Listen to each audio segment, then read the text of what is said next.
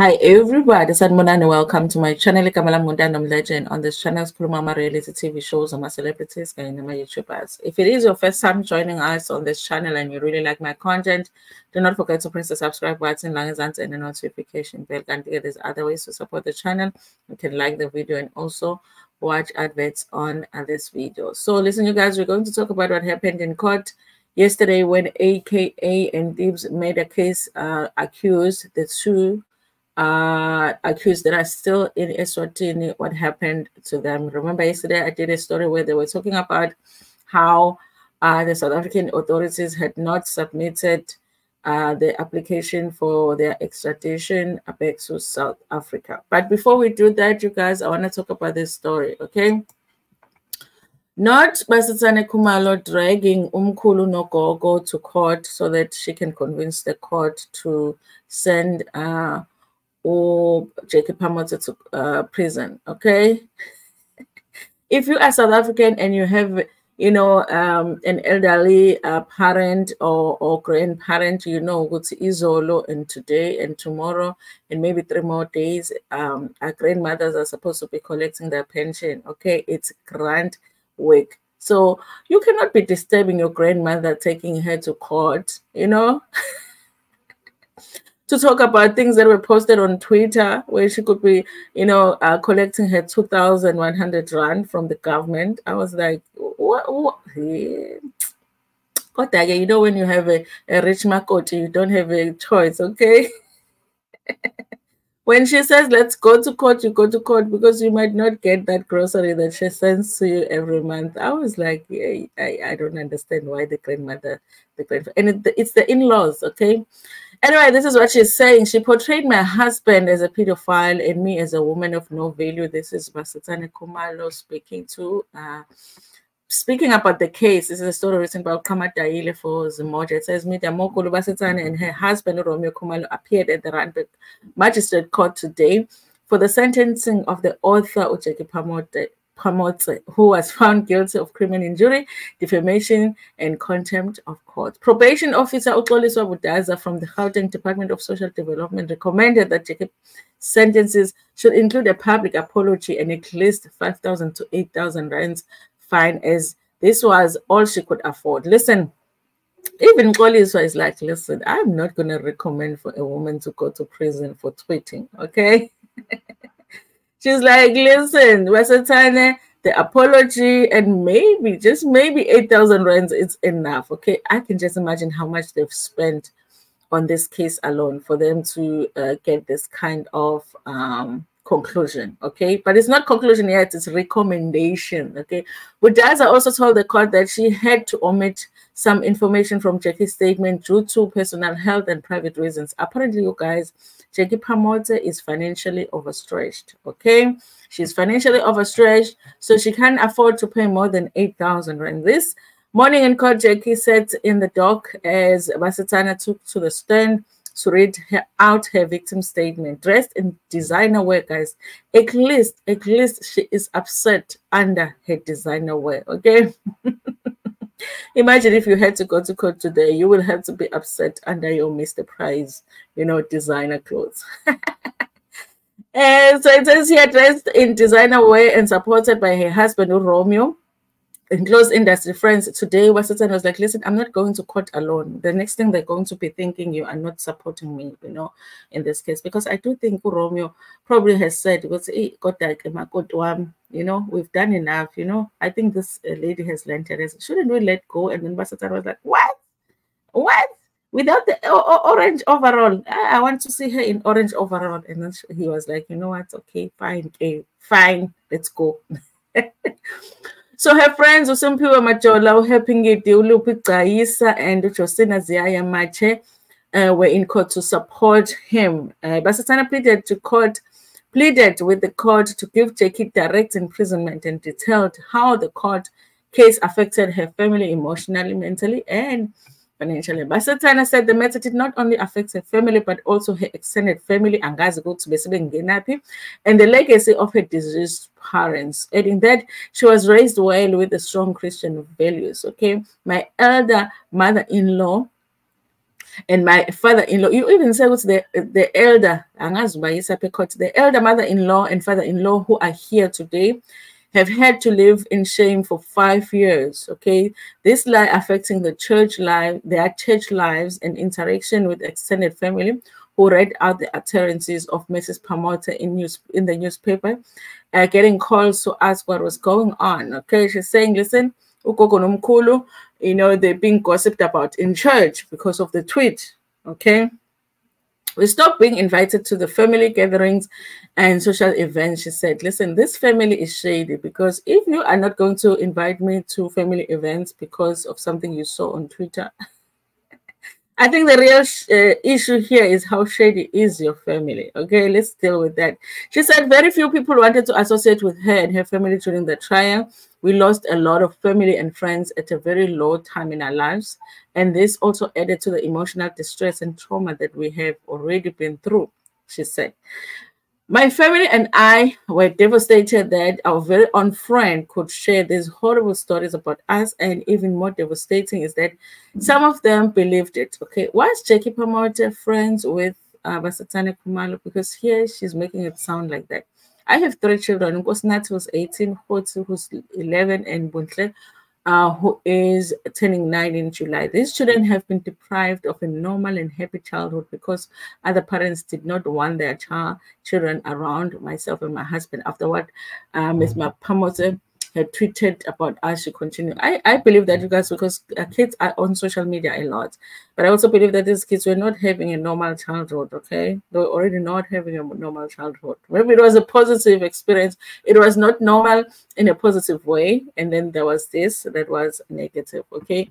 Basetsana concluded that she and her husband are well-known public figures, and as such, their income is also derived from the image. We have both worked exceptionally hard over the years to build our brand equity and traded on our good names. I am a brand ambassador for a well-known uh, for well-known companies in South Africa. I have been in this court 51 times over the last five years, 51 times for the last three years that doesn't make sense. In carrying costs on flights and accommodation, she said adding her husband's image was also in, uh, tainted. Mrs. Phamotse's tweets portrayed my husband as a pedophile and myself as a woman of no value.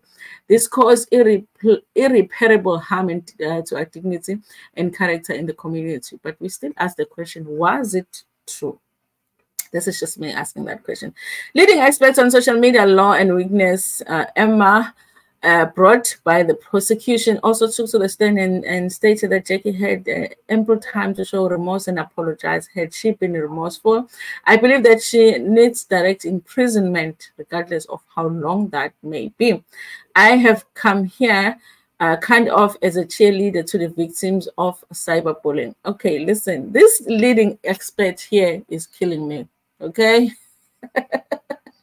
because she's coming like outwardly outwardly saying, listen, I support the victim here. I support, you know, all of the drama here, okay? They were affected. Isn't she supposed to be neutral and just say, in, in cases like this, this is what happens, okay? I have come here as, uh, kind of as a cheerleader to victims of cyberbullying. Anyway, you guys, it's very easy to support people with money, okay? It is, it's very easy. you know, uh, she admitted to being biased in the matter as she stands by the Kumalo. She had to make that statement, you guys. She had to make that statement. Jackie and the prosecution will present closing statements and the sentencing will take place on the 26th of March. Listen, you guys, I've always said when I was doing this story that I feel like it shouldn't have even got to this place because I do believe that Jackie Phamotse, as soon as she realized that the Kumalos were serious about suing her or they were really seriously upset about what she had done and might possibly sue her, she should have just apologized. Whether what she said was true or not, it's a conversation for another day. And we might never ever have that conversation because we are scared of getting sued. Okay, that is the reality of the situation. Even if what they were being accused of is true, we cannot talk about it because we don't have money to go to court 51 times in three years. Okay. Two accused in the AKA and Tibz murder case remanded in custody uh, in Eswatini. This is a story by Usbonelo Zwane. It says two of the seven men accused of murdering Kiernan, aka Forbes, and his friend Tebello Tibz Motsoane made their second appearance at the Manzini Magistrate Court in Eswatini today. Brothers uSiyabonga and Malusi Ndimande appeared in court in connection to the extradition matter, which was postponed to next Tuesday. Eswatini State Prosecutor Macebo uh, told the court that the Eswatini police were given a directive by the South African counterpart to confiscate all relevant items that may have been used in the commission of the M of the rapper and his celebrity chef friend. Some certain ex exhibits were fetched from the respondents. As per the request from our colleagues in South Africa, in South African police services. We have confiscated items such as cell phones, firearms, and any other items that is suspected to be relevant in the commission of an offense. Mumalo told the court uh, that's what he told the court. Okay. He also explained that during the arrest almost two weeks ago, the accused were in possession of four cell phones. He added that they had not received any comprehensive documentation from Pietermaritzburg Magistrate Court relating to the extradition of the accused. Listen, guys, I work in Pietermaritzburg. Maybe I can just go there and be like, guys, uh, Eswatini is waiting for you. the police force in Eswatini, yes, they're waiting for the document. Can you send them now while I am waiting right here? Hey, eh? can you, can you send them? This is what is causing the delays. The defense of the accused Civil uh, Sonke Ngwenya previously said uh, they don't know whether or not the extradition will be opposed by the state. A lot of people in court today, we are still waiting for the application as I have been consistently highlighting to you that we have challenges in the absence of a comprehensive application. Guys, who is supposed to do this comprehensive application? What is the problem? Is it load shedding? Are they short of paper? You know, because we can go to ShopRite and, and, you know, take buy the bond of paper, send it to them. What is the problem? Okay, the ink in the printing machine, the emails are not working. What is the problem? Okay, you need a new router for the internet so that you can send an email to Eswatini. Let us know. We will donate because we do want this comprehensive application to be sent to Eswatini. Okay, tell us what is the problem. Is it typing the email? We'll come and type it for you. Okay. Something, you guys. Is it filling in the form? Okay. Is it uh, is the form electronic? Is it manual? Tell let us know. We can help. Okay. The director of public prosecution made a statement in court today to say that they are not. They are also still waiting for the application.